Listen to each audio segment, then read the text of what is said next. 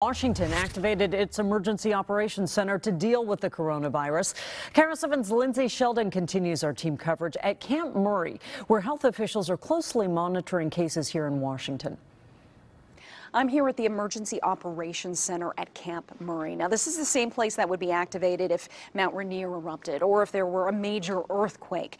All these people here behind me are helping with planning and logistics for health officials. And as you can see on these big screens here, they are also keeping a close eye on the number of cases of coronavirus in China as well as around the world. We are, uh, have no evidence that this virus is spreading in the state. Dr. Kathy Lofy says the risk to the general public is still low, despite the fact that 67 people have now been identified and are being monitored after being in close contact with someone infected. That's up a few people from yesterday. Newly released numbers show only one confirmed case of coronavirus.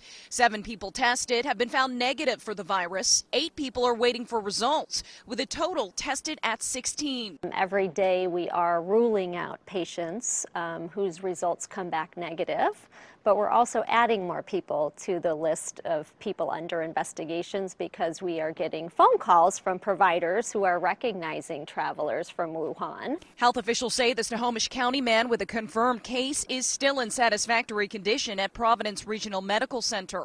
It's been a week since he was admitted. Um, given it is the first uh, patient here in the here in the United States, and there's still there, there's more we need to learn about this novel coronavirus. I think they've been extra sort of conservative. In Wuhan, the State Department is airlifting some Americans out of the country, but capacity is limited. Sam Roth's family are in Wuhan visiting relatives, and Roth wants them to get on the U.S. flight out. I'm trying to make the case that we've got a 10 month old, we've got a five year old. They're susceptible.